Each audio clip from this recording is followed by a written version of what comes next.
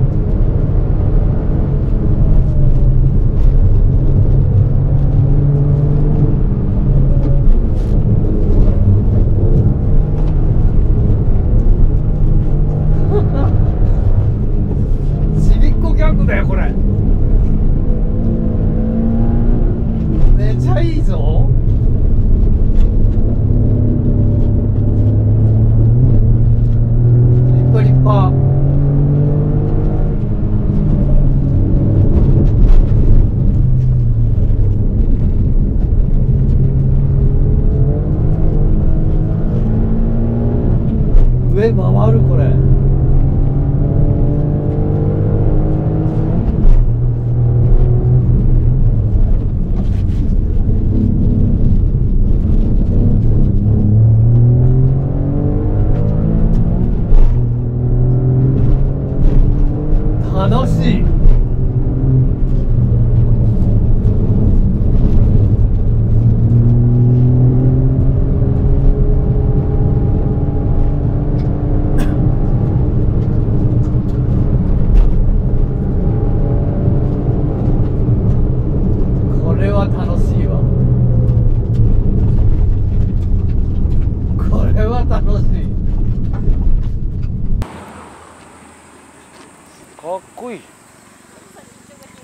めっちゃ楽しいわこれ。あそ嬉しそめっちゃ楽しいよこれ。ねえ K じゃないよこれ。うおおこれは大したもんだ。えー、ちょっとこれね。うん。ちょっと待って。言う前に言う前にまず点数を発表してください。10点。おおまた10点出た。そう。いやだって今まで俺 N1 乗ってきてるからいろんないろんなショップの。はい。10点、うんあのあね他のところの乗るとこう谷間があったりさ老けてく間に、あとは足がボヨンボヨンしてたり硬くてはポンピョン跳ねちゃったり、ない。ない。ない。乗った方がいいって本当に。い 今日これね持って帰ろうと思って。あ持って帰る。ああなるほどなるやほど。本当にじゃあちょろちょろっと乗ってもいい、いやいや俺本当にねこれねこれ一番欲しいですあのね、これ200万かかってもしょうがない。でも今話してたら100万円のバージョンでも十分だっていうから。そうタービンまでやらなくても、うん。いややった方がもう加速で あ200万かけたいっていうなる。こうもうこの加速でうんなる。もうタービンやってインタークーラー入れてもう絶対やりたい。そっか。もうこれに乗っちゃったらもうなんで100万？ケチいこと言わない。あら。でもう200万のローン組む。あら。組む。うんさあどうしたどうでした？今の感想は？あのー本当に最高の褒め言葉だなと。うん。いや本当でねテリーさんちょっと乗った方がいい。うん。じゃあ後でちょっと乗りますよ。これはいいわ。俺乗ったら多分そのまま帰っちゃうと思う本当じゃああのカンパチまで届けていただければ、はい。え大丈夫です。はい。はい、はい。というわけで以上辛口愛車チェックのコーナーでした。はい。お知らせがあります。この度アヘッドモーターサービスでは新たに一緒に戦ってくれる仲間を募集しています。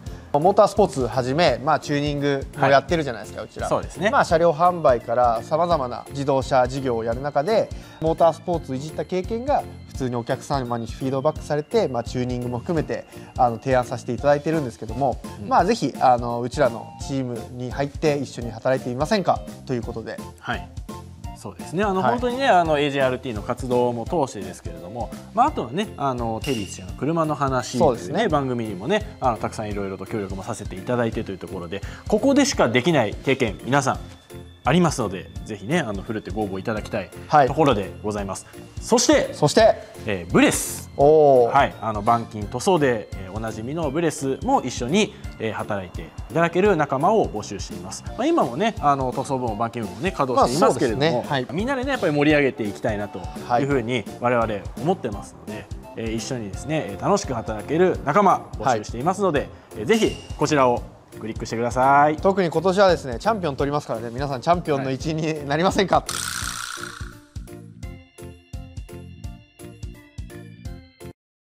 中古車買取本舗車買取専門店。高価査定はプロにお任せ。お手軽スマホ査定なら最短5分。中古車買取本舗で検索。車のことならアヘッ